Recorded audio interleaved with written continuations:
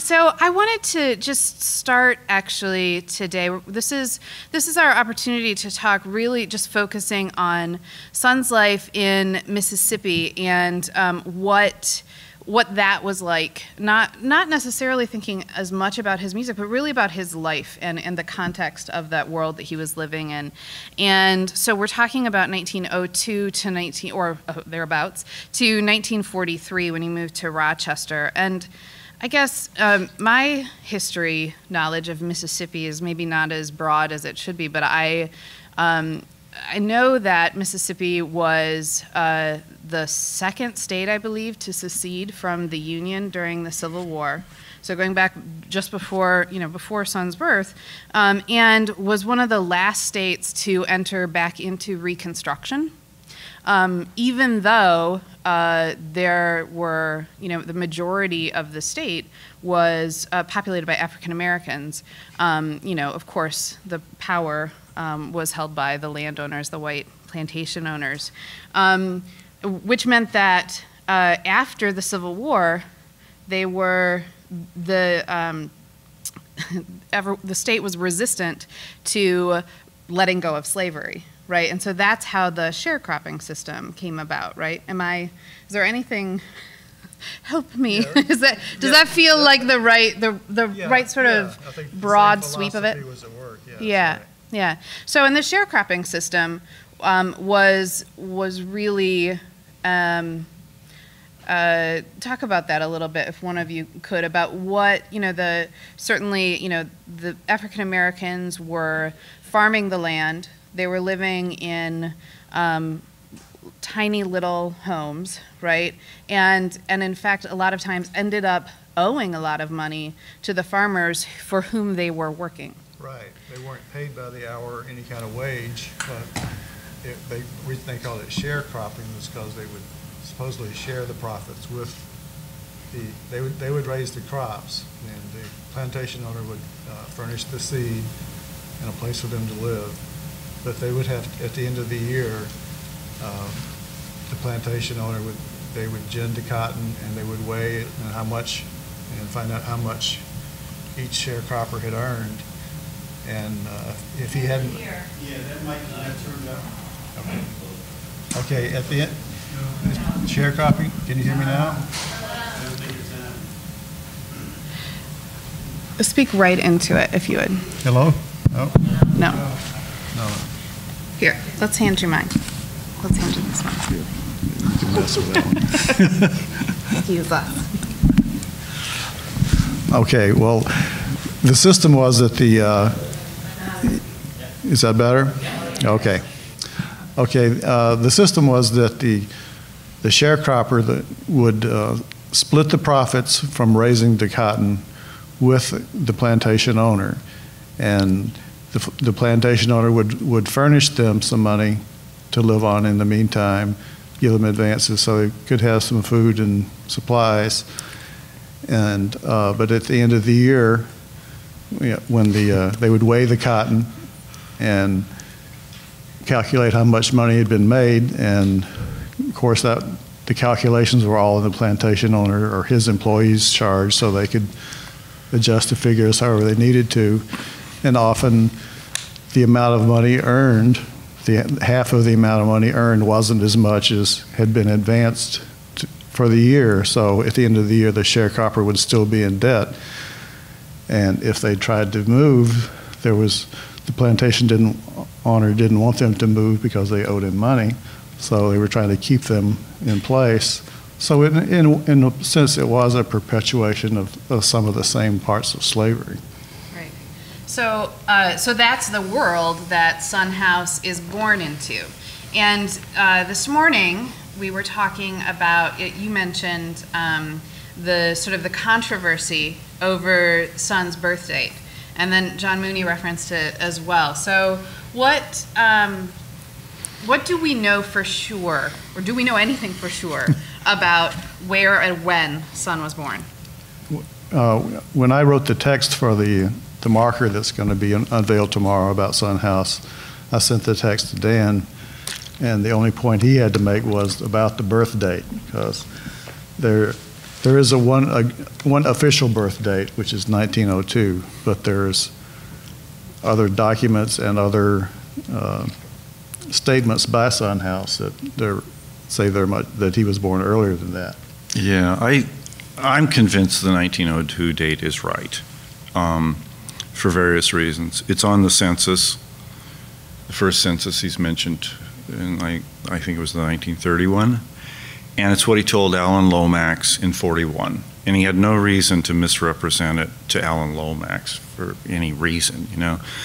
And if you get rid of that date, then the chronology of his, especially of his youth and everything, it just falls apart. I mean, it, it throws everything into confusion. If you keep it, the, the dates of his, so you know, being a preacher, leaving the pulpit, taking up blues, being convicted of probably manslaughter, sent to Parchman, getting out, it all it hangs together in a way. If you reject that, you have hash. and you know, as a biographer, it was like this you've got to settle on something. But he, you know, he there there were a lot of things in his besides the birth date, there were a lot of things about his early life that in the interviews that were done in the 60s conflicted. He told interviewer A this, he told interviewer B something different. A lot of those people, most of those people were just young white blues fans. They were not like journalists and, and people who approached an interview in a kind of professional way. It was like, you know, son, I, I only want you to tell me about Robert Johnson. you know, I'm not interested in anything else. And they didn't cross check what had already been published. They didn't say, well, you told interviewer A, you know, 1927 on this is when you, you know, went to prison or something like this, which it could be. And, but you told this guy it was 1928. They didn't do any of that. They didn't read each other's work. And so you have a mass of conflicting facts. And it was Son House, uh, you got to remember, this is him, a sole survivor at this point, 40 plus years after the fact, at least. There's no one around. He has no siblings who survived with him, friends. You know, no, there was no one around who knew him before 1930 at that point. And so he had no one to say, you know, to correct his memories. And I know from my own childhood, things like were, or, you know, when you're really small, you construct some account of something in your childhood, and then like, you know, your older sister years later says that's not right. you know, Right. that didn't happen in that year, and you go like, oh, well, you know, he had no one to do that for Right. him. So I think 02 It's pretty is it's pretty well certain to be the date. Yeah. Becca, can you show the SS5 slide?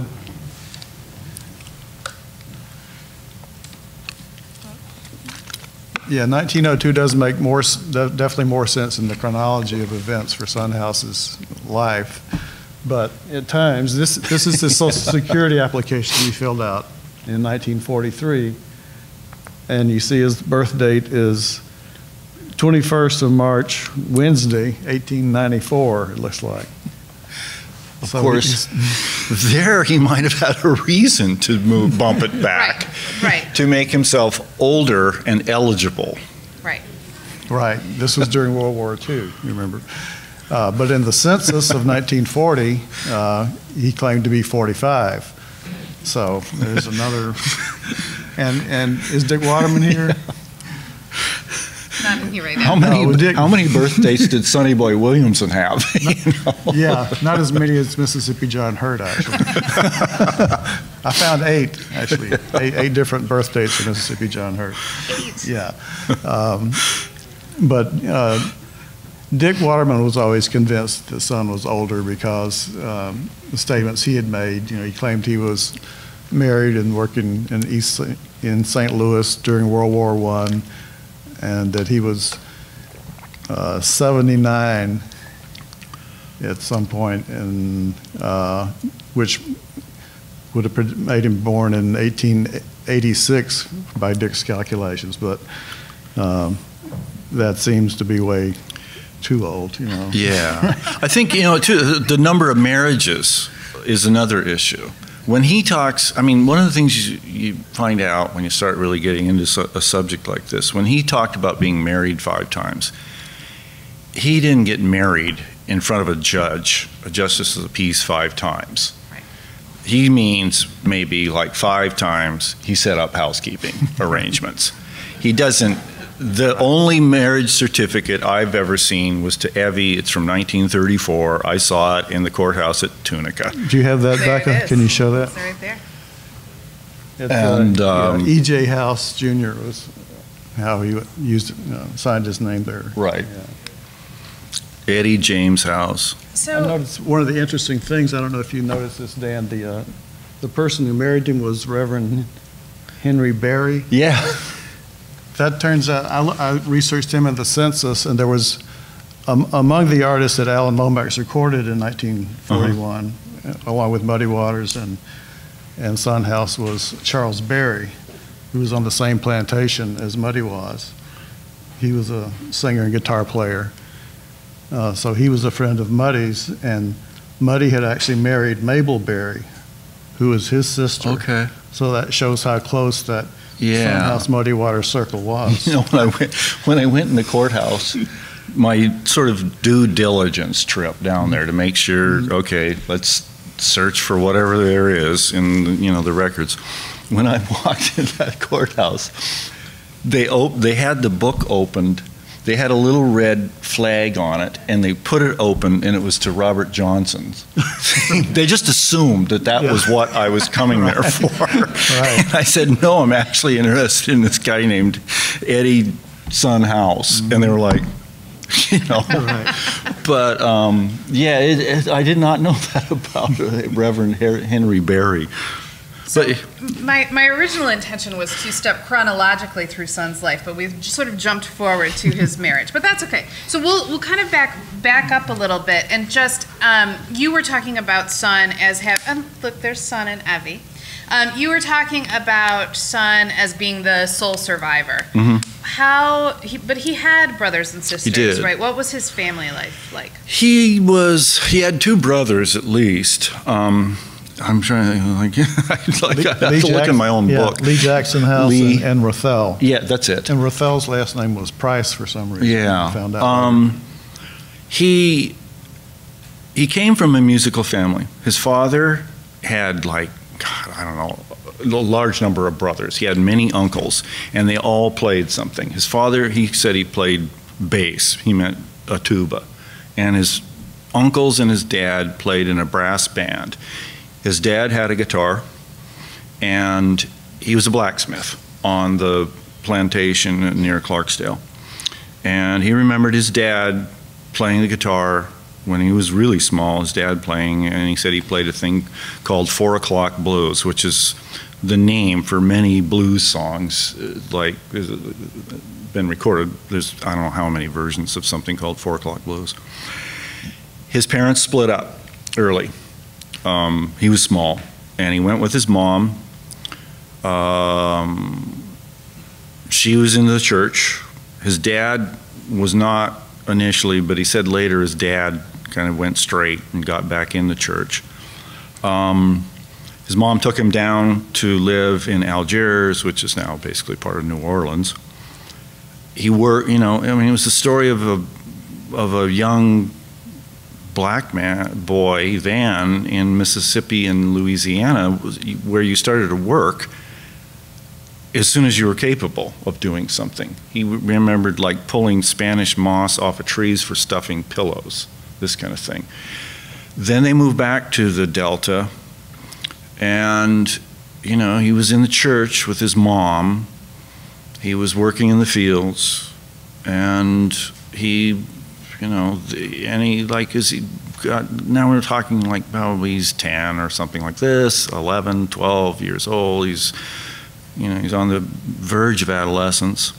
He um, he wanted to, he very much wanted to be a preacher at that point, and he knew that you know the main qualification for it was to say you had gotten religion, which and it's funny, you know, some of the, the things that are, have been written about him, you know, about this anguished relationship with, with religion and things.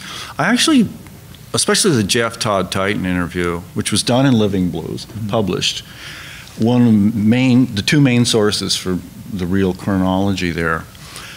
There, as he recalls these things about his youth, getting religion for one thing and beginning to preach when he was in his teens. Not like he was the preacher, but just being allowed to step into the pulpit, you know, and say something. He recalled it with a kind of, there was some comic quality about it, him recalling it. It wasn't like some anguish thing to him all. He was like laughing about some of it, you know. He's like getting religion he was laughing about. Like what is it, you know?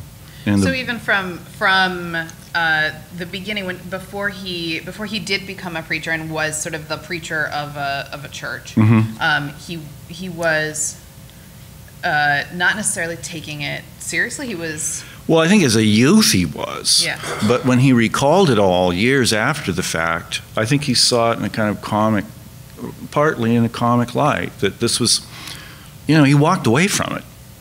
I mean, after all. Right. And uh, I think he just saw it as sort of a, in some respects, he saw it as some of it as a youthful folly, you know? interesting. he just was like, you know, I got religion. I was out in an alfalfa field and like, and, and it was like in the book. I think I compared it to like somebody who's really young trying to figure out what sex is. You know what I mean? Like, you know, it's really big and it's really important, but what is it? And it was like, and before he got religion, I think it was kind of the same thing. It was like everybody's talking about it all the time, but you know, Right. what is it? Right. And then he got it, so to speak, and he started preaching, and um, you know, and from there, he, he was obviously a very intelligent person, and he was literate, and he had his Bible together, and by you know his early twenties, he was able to step out of the alfalfa field and preach, And- which was a huge thing financially. Was was he moving around? I mean, was he an itinerant preacher or? Um, well, he moved. You know, that's another thing that's kind of, I kind of, I sort of, how would I say it? Elided some of those difficulties in the book. He did move around a bit as a preacher, more as a laborer. Um, and it seems that he kind of alternated between those two things. He, you know, he talked about himself. Uh, is called, I think it was Ramblified. He had, he had a great way with language. It was really colorful. And um, talking about, like, as you say, working in St. Louis in a steel mill for a while and bouncing around that way. Also, as a preacher, he certainly was a preacher at a church near Clarksdale for a while because that was the incident that led to, you know, I was in the reading of the play the other day of him running off with a member of the congregation to Louisiana, which was, you know, kind of the end of that job, so to speak. if you if you ran away with somebody in the congregation, you know, it was sort of like not you were kicked out. well, it was kind of frowned on, I think. and she, her dad was there, and um, again, the two main interviews that really formed the, you know, the backbone of the whole narrative in that part of the, his life. Julius Lester and Sing Out, and the Jeff Todd Titon one. Um, they lived for a while with her dad in North Louisiana on his farm, and he came to suspect that that was just like, you know, why she had hooked up with him. She wanted him, like, I think her name was Carrie Martin or something like that. Right.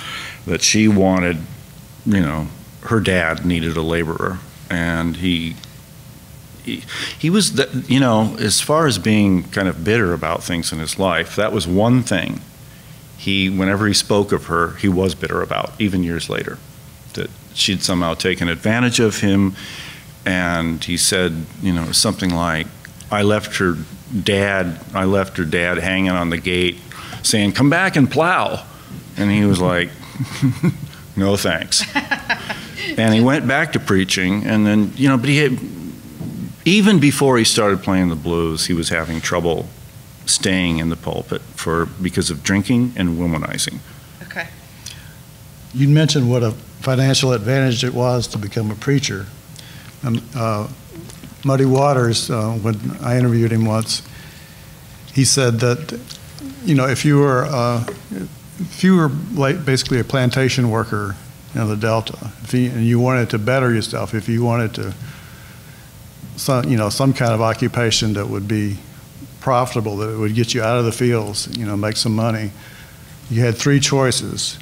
You could be a blues singer, a preacher, or a baseball player. And he said he couldn't preach and he hurt his finger, so he became a blues singer. Blues singer. Yeah, I mean, it, it, you know, in Son House's day, it was even, I mean, that, when I came to try to explain how he took up blues, it was really like there was a triangle. You could do menial labor, there was a preacher, and since sometime after 1900, probably, there were professional blues singers who were rivals to the preachers. I mean, Right, this is, you know, the moniker, the devil's music, it didn't only have to do with where it was played and the uh, kind of people who played it and listened to it. It had to do, in part, and this is not my original insight, this is, you know, people writing long ago, but um, it had Lawrence Levine, black culture, black consciousness. Um, the blues singer was a rival to the preacher. He delivered an experience that was comparable in a way, except it was on Saturday night.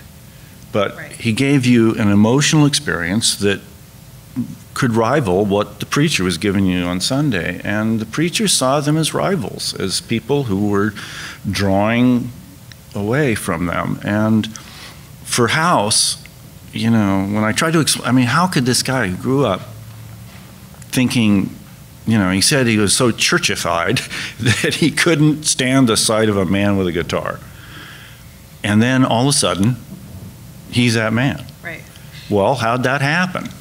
Right. There's like, he was in a, there were three places to be, either like sharecropping or the levy gang or whatever, the preacher and the blues man. He'd tried two. Well, what's left? Right.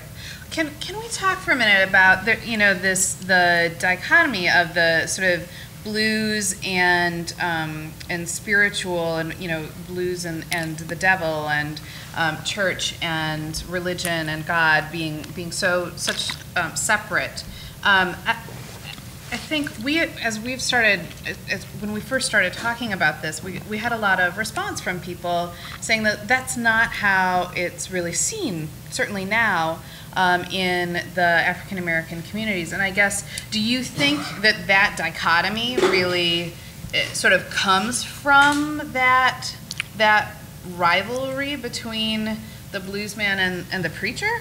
I think there's a, there's a lot to that, and then, you know, that- you know, that's a good point, because that's not usually the point that's discussed. It's usually thought of in spiritual terms, you know, mm-hmm. you know, the devil and the evil versus the Lord and the, and the gospel music.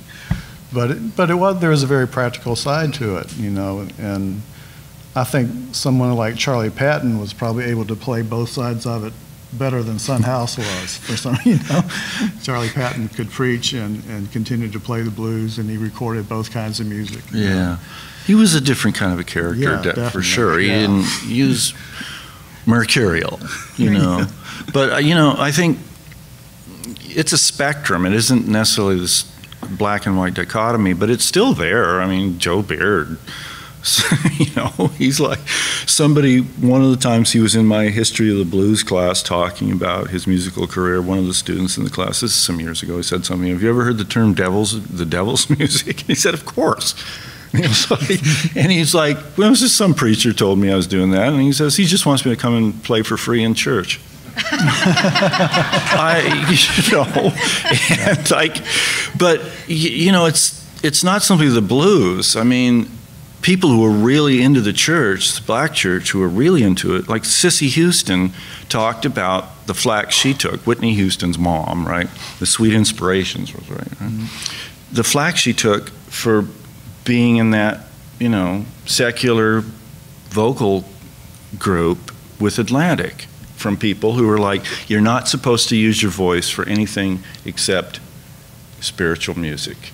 And she said she took a lot of flack for it. And, you know, it's, I mean, it's not just the blues, it's, you know, but I mean, but again, there's, then there's the people who went to the juke joint on Saturday night and went to church on Sunday morning. Right. You know, and didn't feel like it was, Right.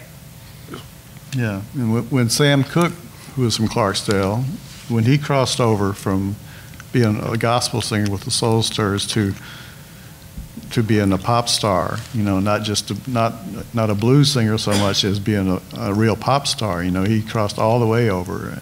And there was just a huge controversy, you know. You read the black newspapers of the time. you know, and, he added an E to his name. to Right, try- yeah, yeah. To try He- he added- trick people. Right, he added an E to his name and he made, one- made one record as Dale Cook so that people wouldn't know who he was. Wow.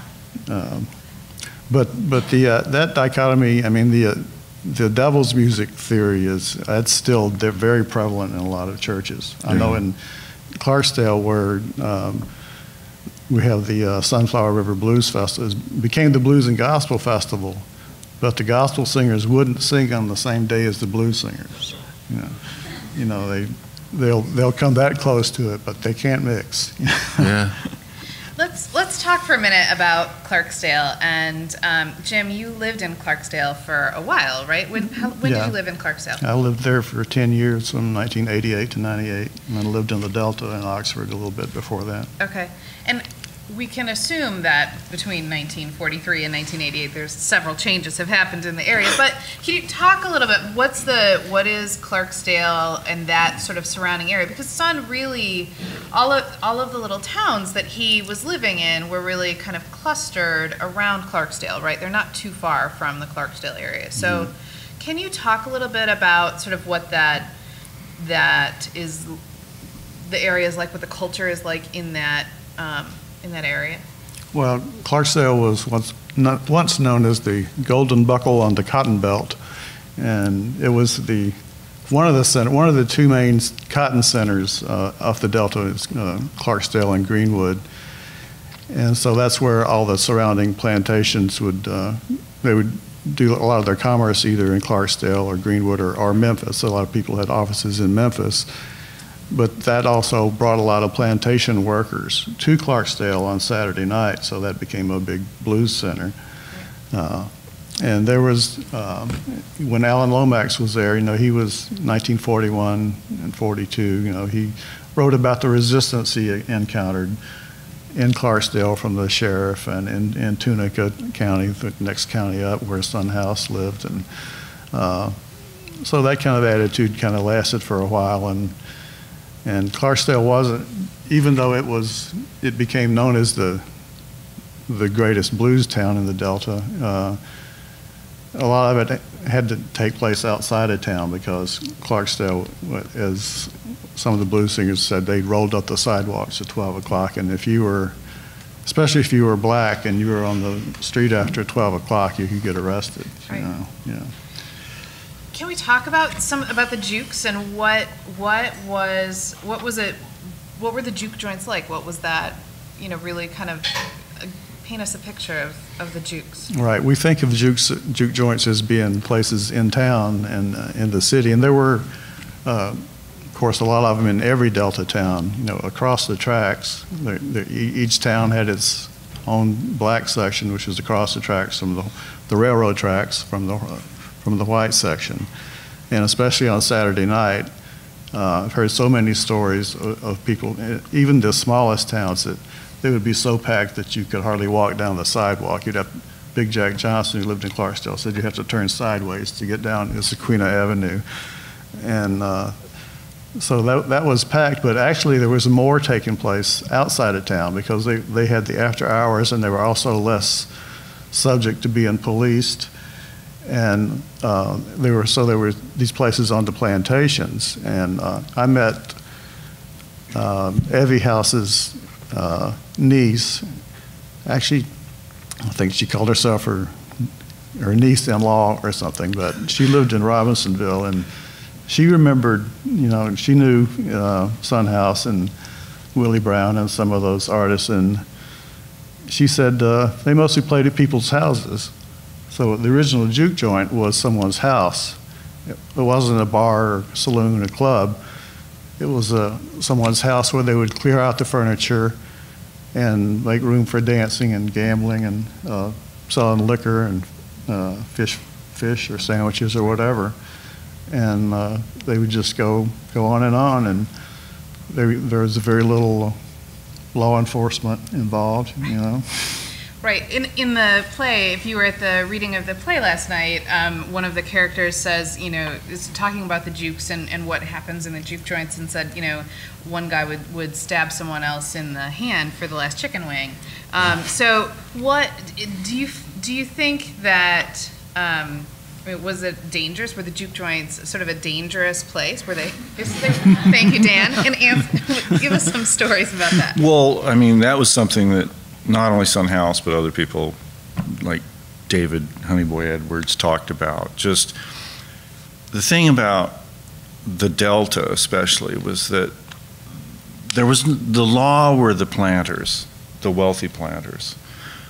The sheriffs just did whatever they wanted them to do, and that, like in some cases, that worked. Like for Son House, that worked out. I'm almost certain, like the planter he said that his family, his dad and then his cousins, whatever, they all, the planter they worked on, his plant, whose plantation they worked on, regarded them as good people, good workers. And he, uh, almost certainly, he was the guy who went to the judge in Clarksdale and told him, would you release Eddie Son House? So that they could, but there was another side to that. He, as he said, and Honeyboy Edwards said this in uh, the biography that's been made out of all the interviews he did, which is brilliant because it's it reads like a real autobiography. It's a great work. The World Don't Owe Me Nothing. That's like highly recommended for its portrait of life in Mississippi at that point. And he said like everybody knew that if you were a good worker, you could get away with killing somebody. Everyone knew it. That the planter would just come down to the jail and say, let him out. He's a good worker. So that when disputes arose, and everybody was armed, you know, knives and pistols. And he, Son described one instance when he and Willie Brown were playing, and but he, the way he described it, you could tell that it wasn't like the only time it ever happened. They're playing, and a guy whose name he had a nickname, Horse, I think it was. I think I don't think the killer was Horse. But this guy walks in and he says, "Where's Horse?" And the guy was like just sitting on the floor, leaning against the wall. And he just walked over and shot him. Like and walked out. And the way Son House described it, you could tell that it wasn't probably the only time he ever saw something like that happen, you know? Right. That he because he talked about like it's interesting, the pistols that were used, he said they'd file the sights off and they called them lemon squeezers. And, you know, he's like everybody was armed and knew that you could get away with almost anything like that. So, you know, it was just, it was a place without law, essentially. Right. You know. So, so this brings us kind of to um, Son's time in Parchman, which was, you know, happened because of something that happened at a juke joint. And the story is a little confusing. yeah. He um, he was at a house party. It was a Saturday night, and the, a fight. He, according to his own account, he was out on the porch, and somebody got into a fight inside. And I think they shot his uncle. Again, I would have to go and read my own book again. Um, he climbed in through the window and shot the guy. And he being Son. son. The window was broken, and one of the bullets. It, he was with his uncle on the porch, as he put it. I think, and the uncle's ankle was broken, if I remember it. So it was. And then he climbs in through the window and he shot the guy. His name. uh, It's in the book. Lee something. Leroy. Leroy Lee. Yeah. And um, so the next morning, he had a girlfriend named Cornelius. Okay? this is, Mississippi was a different place. There's a guy, there's a guy in the book, Rennis Glisson, whose wife was named Doug. And um, he, the next morning, the sheriff picked her up, and she was wearing some of House's clothing. And she testified against him, which, as I say, was probably marked the end of their romance. And he got sent up, sent off to prison on the, you know, I mean, he claimed self-defense, but he was sent to prison. And like, again, as I say, there were no records for anything like this. Right. There, I, when I asked at courthouses for things like that, they were just like, are you kidding? Yeah, I- Um, I don't think those records have ever turned up. I know people have tried to get them from Parchman, and They didn't keep records, you know, it was like, it- well, I mean, it was Jim Crow South. You know, they were, these weren't regarded as like full-fledged humans, citizens. So why would you keep records? You just dealt with them, you know. The- uh, Did you say this morning that birth certificates weren't kept in Mississippi until 1912? 1912, So. I mean, that's, uh, That, but that's, you know, we, we've always said that, that black people didn't need birth certificates. You know, that, that was what the, the, the saying has been, but it was everybody, actually. You know, they weren't required in Mississippi until 1912. Mississippi is different. You know. so let's, let's talk about Parchman for a minute. Parchman was sort of a profit center for the state of Mississippi, a prison that was a profit center. Um, And uh, can, can one of you talk a little bit about Parchman and what it's, how it became a profit center and what it, what it was really doing and what life there might have been like? Well, it- yeah, it was notorious because they, you know, the uh, plant, the prison laborers would be hired out, um, you know, to various plantation owners or, or whoever wanted some labor, and uh, they basically had free labor and could you know, build things, raise crops, whatever was Right. needed. Did the, did prisoners at Parchman also, did they have any, um, like, they cleared the land around the prison as well, right? So they, and were they, they were farming, because it's called Parchman Prison Farm, Right. right? So, so were, was that farm creating some of the profit as well? Yeah, right. Yeah.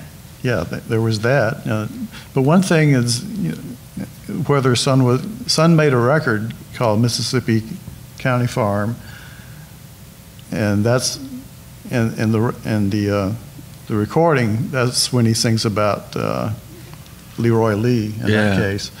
But Mar- Parchman wasn't a county farm. was a Parchman was state. a state prison, so there's a possibility that he wasn't really in Parchman, but in, in prison in Coahoma County in Clarksdale. I think he was on, the in Coahoma County, on the county farm for a while, and it might have had to do something with like, I don't know, a lesser offense. But, um, you know, put you to Captain Jack and all that stuff. What's Captain Jack?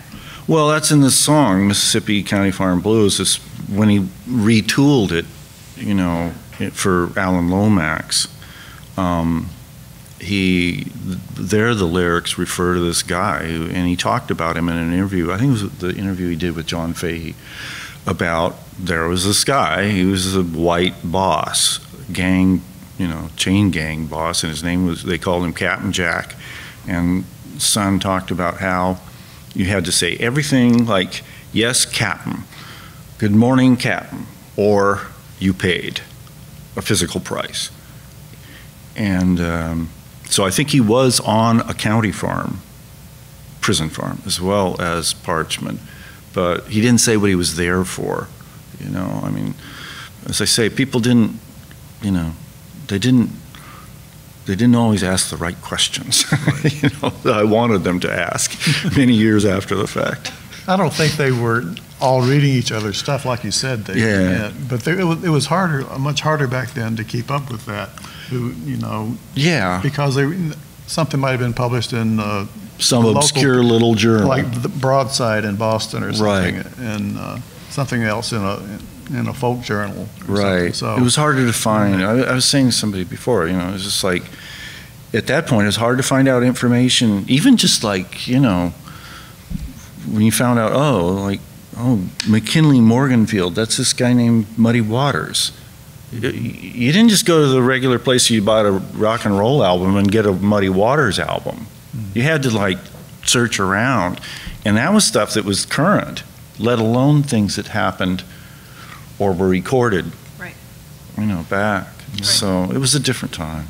So Son, Son gets out of Parchman because the, a plantation owner comes Probably, and yeah. says, please release this man. Yeah. Um, and the judge says, okay, but on, on the condition that you never come back to Clarksdale, right? And so, uh, Son goes how far away? Well, not very far, which tells you a lot about the Delta then, because he didn't. He just got on. He jumped on a you know freight train, and he went. It's I think Lula's 17 miles north. Does that sound about right? Yeah, but mm-hmm. I, I've been there several times. You know, it's a huge metropolis. Obviously, he gets off, but he only goes 17 miles. It's not like he had to. He left a state or anything, and it's curious that, you know, Uh, and this is something that only really occurred to me this month in talking to some people about the whole story. But if he hadn't gone to prison, his whole career would have probably been slightly, somewhat, well, different. He would have ne- probably never recorded in 30. The judge tells him, Get out of town. I never want to see your face again. He goes, I don't know why he chose Lula. No one ever asked him, Why did you go to Lula instead of wherever, you know? He goes there. By chance, Charlie Patton has set up shop there. He's operating out of Lula. He was off Dockery's, and which is down south, and he's on in Lula, where, and they hadn't had a bluesman in Lula, according to the Patton biography, since 1918. So this is 1930, when Rennis Glisson was hauled away in shackles for cutting off his wife Doug's head. Didn't say that about her before. His friend who played with him, Willie Moore, said he had a wife named Doug and he cut her head off and they put him on Parchman for life. So maybe House ran into Glisson at Parchman and he told him there's an opening or something. but he goes to Lula, he gets off the train, he does what any blues man would do. He starts playing for tips. And Charlie Patton is standing across the street watching him. And within a day or so, Patton's approached him and they start to become friends. And they hung around. You know, I don't want to say that this happened in early 1930, and then they hung around in late winter and early spring, and probably recorded in late spring or summer. But Patton then, Lemon Jefferson had died the year before, who had been one of the biggest male artists for Paramount Records.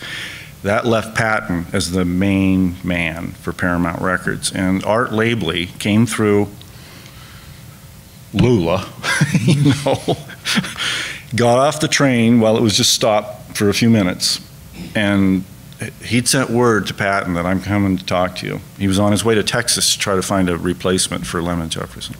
And he said, We want you to come back into the studio, and you've got basically gave him carte blanche to bring anybody he thought was worth recording with him. And that was the break for Son House. He said he brought Son House with him, and that led to Son House meeting Willie Brown. Willie Brown was living up north, Robinsonville area even then. And there was a girlfriend of Patton's up there, Louise Johnson, who was a barrel house piano player. And he picked, they, he and Son House they hired a sanctified teetotaler named Wheeler Ford. What a great name to be a driver, right? you know, to drive them. They picked up Willie Brown, whom this is the first time Son House meets him. And but Willie Brown and Patton had known each other since before 1920. You know, Patton had schooled Willie Brown in a lot of ways. And Louise Johnson, who was one of Patton's girlfriends on the side, and they go off to Grafton, and that was like how Son House ended up on record. But it, it was just sort of like I don't know if he knew Patton was there or somebody told him. I don't know, but it was. If not, it was just an extraordinary coincidence that he ends up there, and this guy says he's out of prison, and the next thing he knows, he's got a recording contract. He, Yeah. you know, it was like a huge break for him. What could have been a break, Right. except for you know the depression and everything. Right. So when does he meet Evie? Or where, I guess? Well, after Grafton, they went back to Lula for a little while. I would say probably only a few months. He and and Charlie Patton, and then in the course of that trip, he and Willie Brown, Patton and Willie Brown, as Son House said, he had very colorful expressions for some of these things. They had almost had a fist fight on the way up to Grafton. He said that they didn't set horses, meaning they, they squabbled a lot. But Son and Willie Brown got along great. They became, Willie Brown became his best friend he ever had. He said we were closer than brothers. So after a few more months in Lula, Patton went back down south. So this is like probably late 1930. And Son House moved up to the Robinsonville area where Willie Brown was. And he and Willie Brown became inseparable partners as far as musically playing together. And that was really important for Son House's musical development because prior to that, I don't believe he knew how to play anything but what they called Spanish tuning, open G. Willie Brown taught him how to play in standard tuning, which greatly increased his repertoire. And then the two of them, you know, played together the rest of the 30s. He must have met Evie there, oh, I want to say, oh, they got married in 34, but it was sometime in that interval, probably 31 through 32 or 3, something like that. Um, the woman that I subsequently met after the book came out, Casella Knox, who knew him from in Robinsonville from 1930 on, you know, I, what she told me led me to believe it was probably around 1932 or so he met Evie. And then they married the same year that Charlie Patton died, 34, which, at which point he and Willie Brown became the biggest names in the Delta and the blues. What do we know about between then and 1941 when Alan Lomax records them for the first time? There's not much documentation left, No. but I think he was mostly around Robinsonville because he's well remembered, and he, and I talked to people who remembered him from different plantations in right around Robinsonville. Uh, one of them was the Harbert plantation. Do you have the slide of uh, the Hollywood Cafe? Oh, yeah. The, the, there was a plantation called, run by uh, Frank Harbert uh, in Robinsonville, and, and each plantation had a commissary, which is the store where the, the hand, field hands could shop, and, and uh, they would have to use, you know, in the early days, they would have to use the uh, plantation script or token. They couldn't use, Right. it was, uh, they were paid with, with uh, essentially private currency that could only be spent at the plantation commissary. So the plantation owner not only could control their, what money he gave them, but, that- but how they were- could spend it. Uh, Did you find that, uh, Becca? That And so then, then they would also earn that money back, right? By, if, if they are, if they own the commissary, then the Right. plantation owner Right. is Right. He- earning all the, their money back. Right. Yeah. So it goes around in a circle. He all- and all the way back. Casella remembered that whole era pretty well, and he and Willie Brown, he remember, she remembered them playing every Saturday night at a juke joint. Yeah. And she remembered Willie Brown. He was married and had a daughter. He was a small guy, and he didn't. He wanted to be the second, and the, but they played every night, every Saturday night, and then they. By the end, this was the, the period was the agriculture in the Delta was changing. It was becoming mechanized, and by the end of the, you know, what we know is that by the end of the decade, he was driving a tractor. Right. And, and that was it. He, but he played in the, and he had girlfriends, and Casella knew most of them, I think, and she might have been one. So the Hollywood Cafe, by the way, um, was the was the first stop with when we first started planning this. It was the first stop that Skip Greer and I made in Mississippi as we were doing our research. Was the Hollywood Cafe, and they have the best fried pickles I've ever tasted.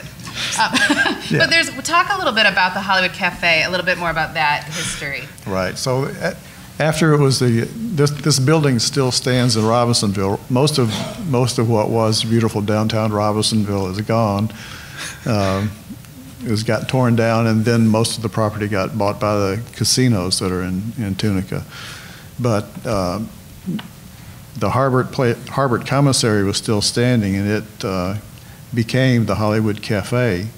And if you go to Robinsonville now, it's, it's regarded as one of the great dining experiences in the Delta. for the fried dill pickle and other They're things. amazing and worth it. So if you go do the Blues Trail, stop there for lunch or dinner. I've been there. It's great. Five stars. It's stars. also where um, uh, the song "Walking in Memphis." Right, Uh, right. There was a piano player named Muriel, Muriel Wilkins who was a uh, Sunday school teacher from Helena, Arkansas. She used to play the piano there, and Marc Cohn uh, was inspired by her and, and used her, used and referenced her in the song "Walking to Memphis." Great. So then, 1941 and 1942, Alan Lomax records, uh, comes in and starts looking for musicians and records Son House. Can you talk just briefly about those two? We've got just a few minutes left, so talk just briefly about those, if we can. About, about those recording sessions briefly. Um, Yeah, I, I played the track this morning about, uh, uh, the Muddy Waters interview when Alan Lomax was talking to him, and, and uh, Alan Lomax was trying to find out where Muddy Waters learned the song, and, and, uh, and Muddy says, a boy named Son House, and, and Alan Lomax says, who's that? Who's, the, who's, no, who's Son House? And so that led right after he recorded Muddy Waters, he went to Robinsonville, or actually went to uh, Klack's store and recorded Son House in uh, 1941 and came back and recorded him again by himself in 1942 because probably that seemed was more of the kind of music that Lomax was looking for. Lomax wasn't recording what was current on the blues scene very much. You know, he wasn't necessarily interested in and the and documented the contemporary blues of 1941. He was looking for the old folk songs, and he would uh, he actually even suggest things to the artist to record. So, even though that's a wonderful archive of material he recorded, it's not really reflective, maybe, of what was actually being played in the Delta at the time. You know, I think that's shown in the difference between the 41 recording and the 42 recordings too, Mhm. because in Lomax's own book, which is, it's kind of confused, he pushed both of those trips together into a single narrative, and it's like it's a mishmash. But um, when he, in his own book, when he's, you know, he went down there, John Hammond told him, go looking for people who knew Robert Johnson or who played like him. That was his tip to what to do. So that was how he was led to Muddy, and then Muddy pointed him towards Son House and this kind of thing. But when he talks to Son House in his book, the first thing Son House was in 41 was, let me get my boys together, implying he was already playing in a small band context. And I, I think you're, you're, Jim, I think you're, you're right, that the next year, Lomax had definite ideas about what a blues should be, and he didn't want anyone to be playing with Son House. He wanted just him on record because it was like, why? We know he was playing with Willie Brown all through the 30s, and then apparently also there's talk of like a trombone player would sit in sometimes and a drummer. That was the way the music was going, for sure. By the late 30s, look at like Bill Broonzy in mm-hmm. Chicago. You're mm-hmm. starting to get combos and this kind of thing. Well, Alan Lomax knew better. you know? it was fun writing about him. He was kind of a nut, you know. So, but he, there was some comic mileage in it. But I, I, I think you're right, Jim. That the next year he was like, "No, no, I just want you," mm-hmm. you know. And then that was it. And then, pretty much right after that, he moves. Yeah, Up to the next year. Well, I mean, you know, a huge event intervened between 40 August, September of 41 and 42, Pearl Harbor, and we entered the war, and it totally changed, you know, the Amer- well, obviously life in America, but I mean, what jobs were available in the North changed dramatically, and that was certainly part of the reason, at least, that son moved to Rochester. There was also Daisy May Ketchum. Daisy May Ketchum, I didn't make that name up. Who caught him and made him move to Rochester. Yeah. Um, uh, so uh, we're just about out of time, but I think we have a couple of minutes that we could take a couple of questions. So are there some questions? There's one right here. Yes. Uh, So I was wondering about uh, the the role of technology in in shaping the for- the art form. So like, what percentage of people in the Delta at that time actually had Victrolas? You know, it just seemed like it was a poverty-stricken area, but you're hearing about Robert Johnson saying, well, you know, that, that he would get music from someone who was straight across in another area, maybe didn't hear it, so it's picking it up from records. Is that, are records influencing, uh, Rec- records are influencing it. I mean, they were the, the mid 30s was when the uh, jukebox came in, so that was the place that a lot of people heard the records. And, but a, rec- a Victrola was kind of a luxury. You know, at one time, even a radio was a luxury. You know, um, and a lot of times, um, records that songs that we're familiar with because someone recorded them may not have that may not have been how they were transmitted among other singers. Uh, Tommy Johnson's a prime example, I think. He made some very influential songs, but almost every blues singer who's associated with him who who started performing those songs learned them by seeing him in person, Yeah. not by buying the records. Right. And so, you know, Son House being, uh, you know, a prominent blues singer in that area, uh, people heard, you know, I, I don't know if Robert Johnson ever heard a Son House record. I He- doubt it. Yeah. he- The, the records he No. made in Grafton, they hardly sold Right. because of the, the D- Great Depression. And Paramount was bankrupt in 34. The 34 is the big year. Charlie Patton dies, son gets married, and Paramount goes bankrupt. So his, I, there's only one copy of Preaching the Blues, as far as I know, ever been copy of found. Clarksdale Moan, too. Yeah. Yeah. So that tells you something about how they sold. I mean, how many copies of like Lonnie Johnson's stuff are there? A lot. Or Leroy Carr? A lot. But people learned, Robert Johnson certainly learned the stuff directly from listening to him. So, but there were, you know, there were the, the jukeboxes and Victrolas. I mean, Muddy had like a jukebox in his, in his um, juke joint he ran. He was, had a still, you know, he was a bootlegger. And um, they, so uh, Robert Johnson's a- the really good example. I mean, he was somebody who clearly learned things off of records. Like, he never met Lonnie Johnson, but he plays a song, Malted Milk, that is based on Lonnie Johnson's, one of his records. But so that, you know, it's, it's the period, the mid 30s, I'd say, is when it starts to shift Right. away from simply people learning it directly to where there's radio, you know, and records, and certainly by the, you know, 40s, and then after the war, it's, it's a completely different world. There's, there's one question right here, and then I think that'll have to be our last question for this, although I'm sure we'd love to take questions out here. Yeah, so we're um, talking about Mississippi, but I wondered if his life in Rochester uh, influenced uh, his blues, that art form, because even though the geography was different, he came to Rochester and even here in our community at that point found uh, segregation, racism, limited job opportunities, limited housing. He was here for almost 30 years, so I'm thinking that, you know, there were situations here that would cause one to live blues. Well, I mean, yeah, he, he played for a while after he got here, but not, the community was too small when he first arrived to support a real scene. I mean, there was, I think, I don't know.